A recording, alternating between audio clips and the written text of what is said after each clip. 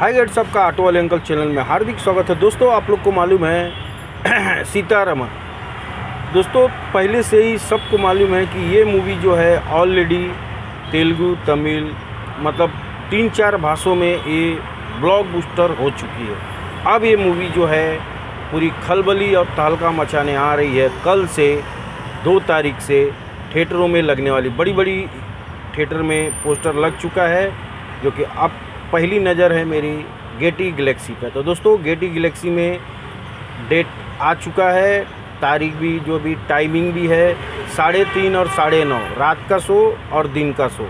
तो दोस्तों, जिस थिएटर में स्पेशल टॉकीज में मतलब ये गोसिप में मूवी ये लगी है गेटी गलेक्सी में, उसमें दो शो में लाल सिंह जड्डा और दो शो में ये सीतारमन।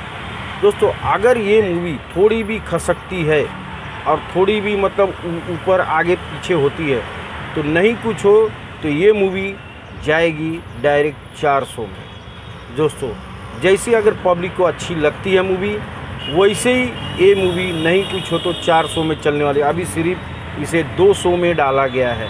तो दोस्तों, देखते हैं ये मूवी कमाल करती है कि नहीं करती, क्योंकि आशा जो है बहुत ज़बरदस्त है।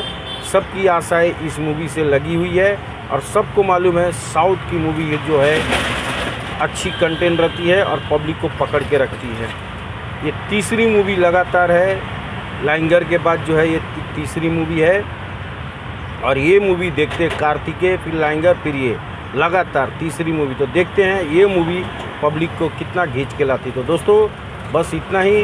कल देखते हैं, जिसमें जहाँ भी फ़र्स्ट डे फ़र्स्ट शो रहेगा, वहाँ देखेंगे। नहीं नहीं मिला कहीं तो गेटी गैलेक्सी में देख के आपको रिव्यू डालेंगे। तो दोस्तों, बस इतना ही। ऑटो वाले अंकल चैनल को सब्सक्राइब शेयर करना ना भूलें। नमस्कार, जय हिंद।